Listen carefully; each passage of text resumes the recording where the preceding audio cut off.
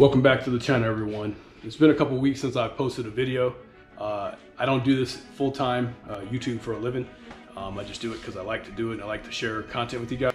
Um, but anyways, I want to bring you guys some more C7 content. MGW short throw shifter that I've been meaning to install in this thing for a long time now. So um, I will do a review. I'll do a review of the product before and after, and I may do an install video on it as well.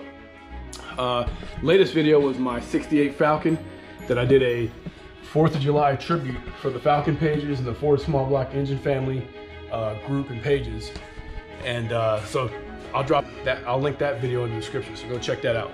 Also, recently linked up with uh, Outlaw Performance Garage, so we did a collaboration video. Go check that out. I'll link that in the description as well. Is there's big plans for the C7.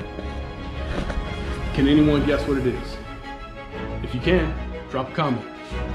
Again, like, share, subscribe, and we'll see you soon.